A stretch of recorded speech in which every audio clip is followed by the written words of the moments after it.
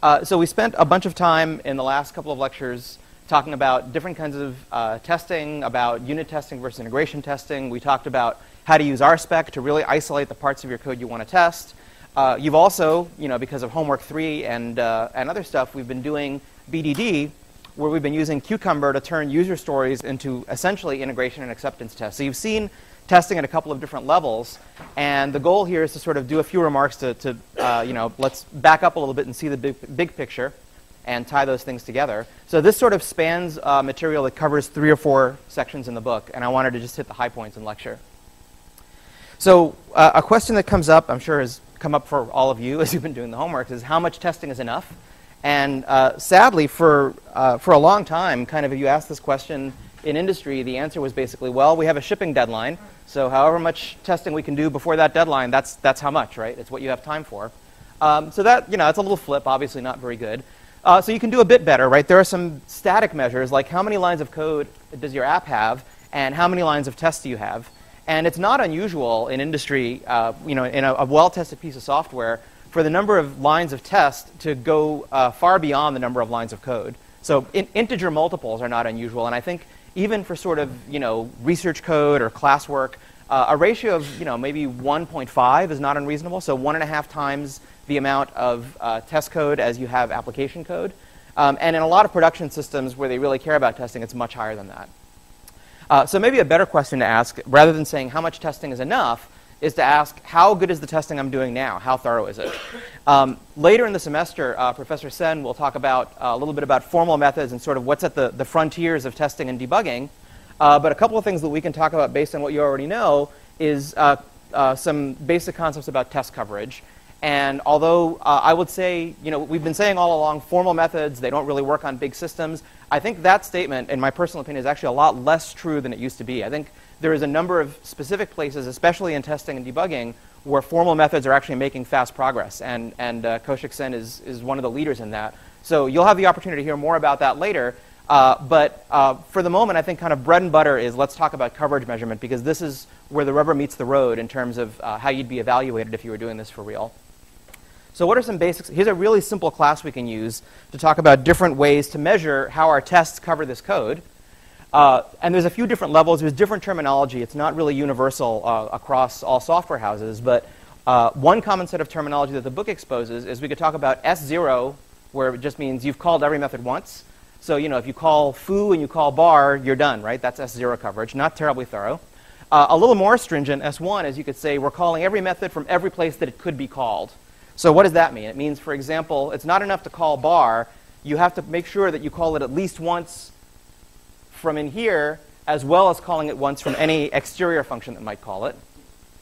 Uh, C0, which is what SimpleCov measures, uh, those of you who have uh, gotten SimpleCov up and running, uh, basically says you've executed every statement. You've touched every statement in your code once. But the caveat there is that uh, conditionals really just count as a single statement. So if you, no matter which branch of this if you took, as long as you touch one or the other branch, you've executed the if statement. So even C0 is still, you know, sort of superficial coverage. But as we'll see, the way that you really want to read this information is if you're getting bad coverage at the C0 level, then you have really, really bad coverage. Right? So if you're not even kind of making this simple level of superficial coverage, then your, your testing is probably deficient. Uh, C1 is the next step up from that. We could say, well, we have to take every branch in both directions. So when we're doing this if statement, we have to make sure that we do the true, the if x part once and the if not x part at least once uh, to meet C0, uh, to meet C1, excuse me. Um, you can augment that with decision coverage, saying, well, if we're to, uh, if we have if statements where the condition is made up of multiple terms, we have to make sure that every sub-expression has been evaluated in both directions, right? So in other words, that means that uh, if we were going to fail this if statement, we have to make sure we fail it at least once because y was false and at least once because z was false. In other words, any sub-expression that could independently change the outcome of the condition has to be exercised in both directions. Um, and then kind of the, the one that you know, a lot of people aspire to, uh, but there's disagreement on how much more valuable it is, is you take every path through the code. Right? And obviously this is kind of difficult because it tends to be exponential in the number of conditions. Um, and whoops, sorry about that.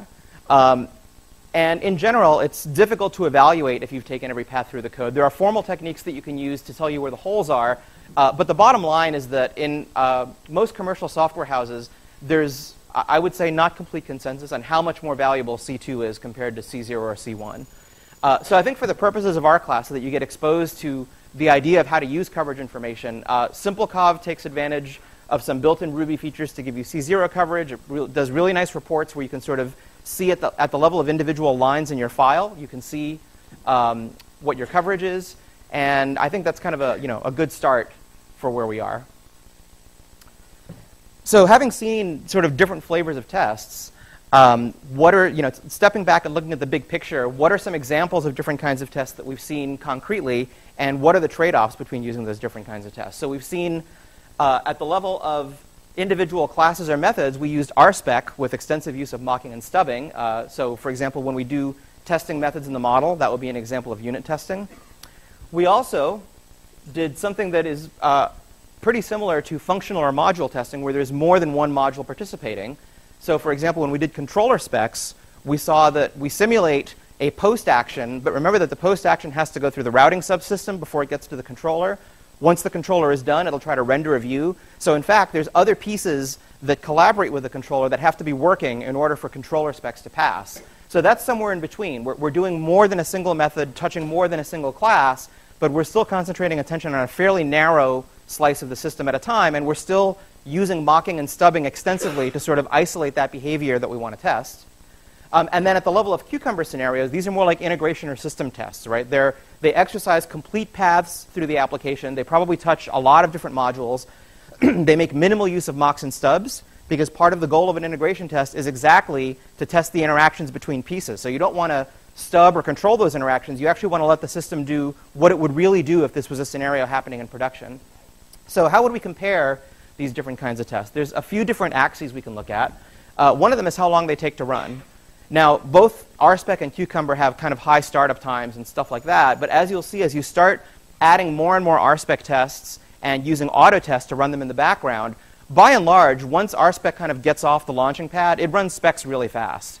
Whereas running Cucumber features just takes a long time. It has to essentially fire up your entire application. Um, and later in the semester, we'll see a way to make Cucumber even slower, which is to have it fire up an entire browser, basically act like a puppet remote controlling Firefox so that you can test JavaScript code. Uh, we'll do that later, and we actually, uh, I think uh, we'll be able to work with our friends at Sauce Lab so you can do that in the cloud. That'll be exciting. So runs fast versus runs slow. Uh, resolution. If an error happens in your unit test, it's usually pretty easy to figure out and track down what the source of that error is because the tests are so isolated, right? You've stubbed out everything that doesn't matter and you're focusing only on the behavior of interest. So if you've done a good job at doing that, um, when something goes wrong in one of your tests, there's not a lot of places that something could have gone wrong. Uh, in contrast, if you're running a cucumber scenario that's got you know 10 steps, and every step is touching a whole bunch of pieces of the app, it could take a long time to actually get to the bottom of a bug, right? So it's kind of, kind of a trade-off between uh, how well can you localize errors. Um, coverage it's possible if you write a good suite of unit and functional tests, you can get really high coverage, right? You can run your SimpleCov report, and you can actually identify specific lines in your files that have not been exercised by any test, and then you can go write a test that covers them. So figuring out how to improve your coverage, for example, at the C0 level, uh, is something much more easily done with unit tests, whereas you know, with a Cucumber test, uh, with a Cucumber scenario, you are touching a lot of parts of the code, but you're doing it very sparsely, right? So if your goal is to get your coverage up, use the tools that are at the unit level so that you can really focus on understanding what parts of my code are under tested, and then you can write very targeted tests just to focus on them. Um, and sort of, uh, you know, putting those pieces together, uh, the unit tests, because of their isolation and their fine resolution, tend to use a lot of mocks to isolate the behaviors you don't care about. But that means that by definition, you're not testing the interfaces. And it's, it's sort of a received wisdom in software that a lot of the interesting bugs occur at the interfaces between pieces and not sort of within a class or within a method, right? Those are sort of the easy bugs to track down. Um, and at the other extreme, the more you get towards the integration testing uh, extreme, you're supposed to rely less and less on mocks for that exact reason. Now, we saw if you're testing something like uh, in a service-oriented architecture where you have to interact with a remote site, you still end up having to do a fair amount of mocking and stubbing so that you don't rely on the internet in order for your test to pass. But generally speaking, you're, you're trying to remove as, you know, remove as many of the mocks as you can and let the system run the way it would run in real life. So, and the, the good news is you are testing the interfaces, but when something goes wrong in one of the interfaces, because you're uh, resolution is not as good, it may take longer to figure out what it is, right? So what's, what, what's sort of the, the high order bit uh, from you know, this trade-off is you don't really want to rely too heavily on any one kind of test, right? They serve different purposes. And depending on, are you trying to exercise your interfaces more? Are you trying to improve your fine-grained coverage? Uh, that affects how you develop your test suite um, and you evolve it along with your software. So um, we've used a certain set of terminology in testing. It's the terminology that, by and large, is uh, most commonly used in the Rails community. But there's some variation on uh, other terms that you might hear if you go get a job somewhere and, and you hear about mutation testing, which we haven't done. Uh, this is an interesting idea that was, uh, I think, invented by um, uh, Ammann and Offutt, who have sort of the definitive book on software testing. The idea is, suppose I introduce a deliberate bug into my code. Does that force some test to fail? Because if I change, you know, if x to if not x, and no tests fail, then either I'm missing some test coverage or my app is very strange and somehow non-deterministic. Um, fuzz testing, which uh, Koushik Sen may talk more about, basically it, this is the 10,000 monkeys at typewriters throwing random input at your code. Uh, what's interesting about it is that the tests we've been doing essentially are crafted to test the app the way it was designed. And these, you know, fuzz testing is about testing the app in ways it wasn't meant to be used. Right? So what happens if you throw enormous form submissions? What happens if you put control characters in your forms? Uh, what happens if you submit the same thing over and over? And uh, Koushik has a statistic that uh, Microsoft finds up to 20% of their bugs using uh, some variation of fuzz testing, and that about 25% of the common uh, Unix command line programs can be made to crash with, through uh, aggressive fuzz testing. define and use coverage is something that we haven't done, but it's another interesting concept. Uh, the, the idea is that any, any point in my program, there's a place where I define or I assign a value to some variable, and then there's a place downstream where presumably I'm going to consume that value. Someone's going to use that value. Have I covered every pair? In other words, do I have tests where every pair of defining a variable and using it somewhere uh, is executed as some part of my test suite? So it's sometimes called DU coverage. Um, and other terms that I, I, think are not as widely used anymore, uh, black box versus white box or black box versus glass box roughly a black box test is one that is written from the point of view of the external specification of the thing, right? This is a hash table. When I put in a key, I should get back a value. If I delete the key, the value shouldn't be there. That's a black box test because it doesn't say anything about how the hash table is implemented, it doesn't try to stress the implementation. A corresponding white box test might be, I know something about the hash function, and I'm going to deliberately create uh, hash keys in my test cases that cause a lot of hash collisions to make sure that I'm testing that part of the functionality. Right now, a C0 coverage tool uh, like SimpleCov would reveal that if all you had was black box tests, you might find that the collision coverage code wasn't being hit very often. And that might tip you off and say, okay, if I really want to strengthen that, if I want to boost my coverage of those tests, now I have to write a white box or a glass box test. I have to look inside, see what the implementation does, and find specific ways to try to, to break the implementation in evil ways. So I think uh, you know a lot of the message of testing is kind of a way of life, right? It's, it's now that you know we have gotten away from the phase of we build the whole thing and then we test it, uh, and we've gotten into the phase of we're testing as we go. Testing is really more like a development tool, and like so many development tools, the effectiveness of it depends on whether you use it in a tasteful manner. So you know you, you could say, well, let's see. Uh, I kicked the tires. You know, I, I, fired up the browser. I tried a couple of things. Looks like it works. Deploy it. Uh, that's you know obviously a little more cavalier than you want to be.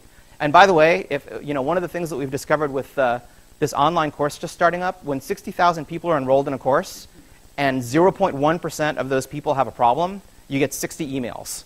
Okay, so if your the corollary is if your site is being used by a lot of people, some stupid bug that you didn't find but could have found by testing is, could very quickly generate a lot of pain. Uh, on the other hand, you don't want to be dogmatic and say, uh, until we have 100% coverage and every test is green, we absolutely will not ship. Right? That's not healthy either. And the test quality doesn't necessarily correlate with this statement. Unless you can say something about the quality of your tests, just because you've executed every line doesn't mean that you've tested the interesting cases. So, you know, somewhere in between, you can say, well, we'll use coverage tools to identify under-tested or, or poorly tested parts of the code, and we'll use them as a guideline to sort of help improve our overall confidence level, right? But remember, Agile is about embracing change and dealing with it.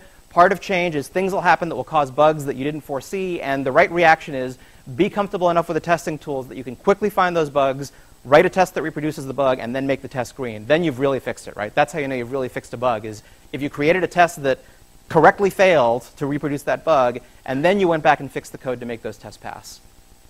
Similarly, you don't want to say, well, unit tests give you better coverage, they're more thorough and detailed, so let's focus all our energy on that, as opposed to, oh, focus on integration tests because they're more realistic, right? They reflect what the customer said they want. So if the integration tests are passing, by definition, we're meeting a customer need. Again, both extremes are kind of unhealthy uh, because each one of these can find problems that would be missed by the other. So having a good combination of them is, is kind of what it's all about. Um, the last thing I want to leave you with, I think, in, in terms of testing is uh, TDD versus what I call conventional debugging, i.e., the way that we all kind of do it, even though we say we don't. And we're all trying to get better, right? It's like we're all kind of in the gutter. Some of us are looking up at the stars trying to improve our practices. But having now lived with this for three or four years myself, and I'll be honest, three years ago I didn't do TDD. I do it now because I find that it's better. And here's my, my distillation of why I think it works for me. Uh, sorry, the, the colors are a little weird, but on the left column of the table says conventional debugging, and the right side says TDD. So what, you know, kind of what's the way I used to write code? And maybe some of you still do this, right? I write a whole bunch of lines, maybe a few tens of lines of code. I'm sure they're right. I mean, I'm a good programmer, right? This is not that hard. I run it, it doesn't work. Okay, fire up the debugger, start putting in printfs. If I had been using TDD, what would I do instead? Well, I'd write a few lines of code, having written the test first. So as soon as the test goes from red to green, I know that I wrote code that works, right? Or at least the parts of the behavior that I had in mind, those parts of the behavior work because I had a test. Okay, back to conventional debugging. I'm running my program trying to find the bugs. So I start putting in printfs everywhere to print out the values of it, which, by the way, is a lot of fun when you're trying to read them out of the 500 lines of log output that you get in a Rails app, trying to find your printfs. You know, I'll, i know what I'll do. I'll put in 75 asterisks before and after. That'll make it readable. Who do, okay, raise your hand if you don't do this. Thank you for your honesty. Okay? Or, or I could do the other thing. I could say, Instead of printing the value of a variable, why don't I write a test that inspects it and sets an expectation with should, and I'll know immediately in bright red letters if that expectation wasn't met. Okay, I'm back on uh, conventional debugging side. I, I, break out the big guns. I, I, pull out the Ruby debugger. I set a debug breakpoint, and I now start tweaking and set, oh, let's see, I have to get past that if statement, so I have to set that thing. Oh, it's going to try to call that method, so I need to, no. I could instead if I'm going to do that anyway, let's just do it in a file. I'll set up some mocks and stubs to control the code path, make it go the way I want. Um, and now, okay, I, for sure I fixed it. I'll get, get out of the debugger, run it all again. And of course, nine times out of ten, you didn't fix it. Or you kind of partly fixed it, but you didn't completely fix it. And now I have to do all these manual things all over again. Or I already have a bunch of tests, and I could just rerun them automatically. And I could, if some of them fail, oh, I didn't fix the whole thing, no problem, I'll just go back. So the bottom line is that you know, you could do it on the left side, but you're using the same techniques in both cases, right? The only difference is in one case, you're doing it manually, which is boring and error prone. In the other case, you're doing a little bit more work, but you can make it automatic and repeatable and have you know, some high confidence that as you change things in your code, you're not breaking stuff that used to work. Um, and basically, it's more productive, right? So you're doing all the same things, but with a, a kind of delta extra work, you're using your effort in, at uh, much higher leverage. So that's kind of my view of why TDD is a good thing, right? It, it's really, it doesn't require new skills. It just requires to refactor your existing skills. I also tried when I, again, honest confessions, right? When I started doing this, I was like, okay, I'm going to be, you know, teaching a course on Rails. I should really focus on testing. So I went back to some code I had written that was working, you know, it, it was decent code. And I started trying to write tests for it. And it was so painful because the code wasn't written in a way that was testable right? There were all kinds of interactions. There were like nested conditionals. And if you wanted to isolate a particular statement and, and have a test that triggered just that statement, the amount of stuff you'd have to set up in your test to make that happen. Remember when we talked about mock train wrecks? You have to set up all this infrastructure just to get one line of code. And you do that and you go, God, testing is really not worth it, right? All, I, I wrote 20 lines of setup so that I could test two lines in my function. What that's really telling you, as I now realize, is your function is bad. It's a badly written function. It's not a testable function. It's got too many moving parts that whose dependencies can't be broken, right? There's no seams in my function that allow me to individually test the different behaviors. And once you start doing test first development, because you have to write your tests in small chunks, it kind of makes this problem go away. So that's been my epiphany.